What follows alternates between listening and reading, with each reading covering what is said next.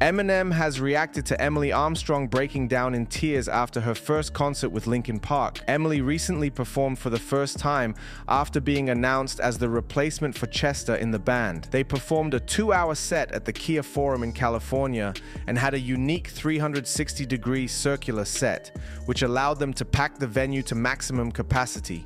It featured some fan favorite songs and also their new song, The Emptiness Machine. Emily would have definitely been nervous and feeling the pressure of her debut performance, and she would have known that the future of the band was riding on it. If she had performed badly, the band's future would have been in jeopardy, especially as fans are still divided on the return of Linkin Park. Her performance received mixed opinions, with some fans not being able to move past Emily's ties with Scientology and previous defense of Danny Masterson. Others are upset that the band are even trying to replace Chester in the first place. They say that replacing him is disrespectful to his achievements and his memory, and they aren't sure that he would have given Emily his blessing if he was still here. Emily recently revealed that she actually broke down in tears after her first performance. In a comment, she said, I can't believe I did this. There's been a lot of hate and false narratives that have really knocked my confidence this past week, but I'm glad I pushed through and did the best performance I could possibly do. I fought tears in my eyes before getting on that stage. Was worth it any day. And now,